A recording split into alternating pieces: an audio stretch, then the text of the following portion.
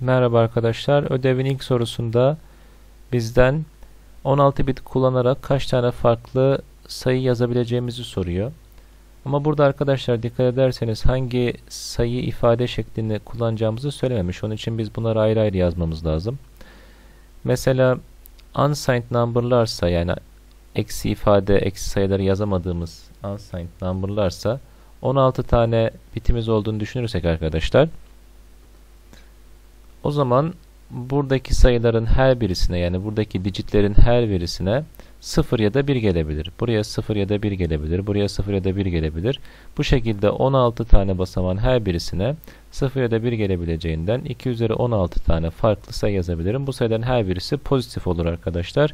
Buradaki sayının basamak değeri 2 üzeri 0 iken buradaki sayının basamak değeri şu en sondaki leftmost bitin 2 üzeri 15 olur arkadaşlar. Hepsi pozitif sayıdır. Bu unsigned ifadeye göre bu şekilde yazılır. Şimdi bir de diğer ifadelere bakalım arkadaşlar.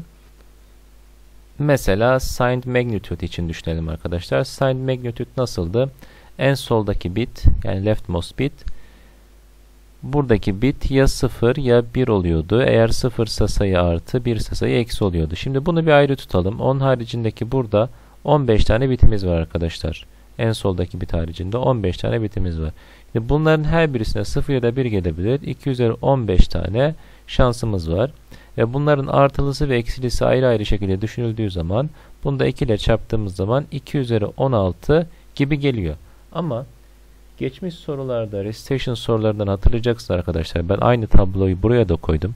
Şimdi sign magnitude'da ve signed ones complement'ta arkadaşlar artı 0 ve eksi 0'ın iki tane farklı değeri var. Yani bizim burada ifade ettiğimiz sayılar içinde arkadaşlar hem artı 0 sayılmış hem de eksi 0 sayılmış.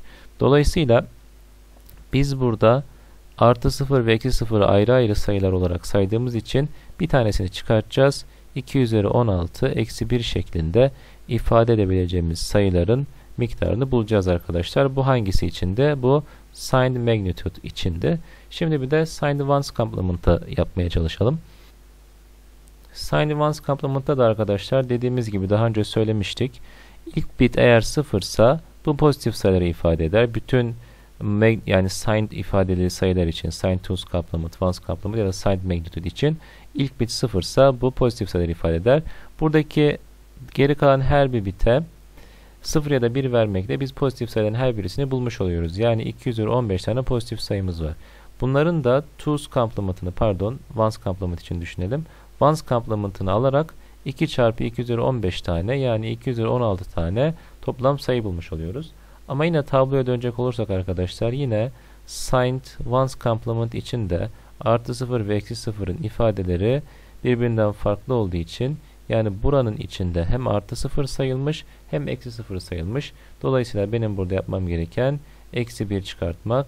Dolayısıyla sign ones complement'ta da ifade edeceğim maksimum sayı miktarı bu oluyor arkadaşlar. Sin tools complement'a geçelim. Sin tools complement'ta ise arkadaşlar yine buradaki ilk bitim 0 ise pozitif sayıları ifade ederim. Geri kalan 15 tane bitimde 2 üzeri 15 tane farklı bir şekilde pozitif sayıları ifade edebilirim arkadaşlar. Daha sonra bunların tools complement'ını aldığım zaman 2 üzeri 16 tane sayı ifade ederim. Burada artı 0 ve eksi 0'ı ayrı ayrı yazmıyorum. Çünkü neden? Artı 0 var ama eksi 0 sin toz complement'ta yok arkadaşlar. Dolayısıyla bu ifade şeklinde toplamda 2 üzeri 16 tane sayı ifade etmiş oluyorum arkadaşlar.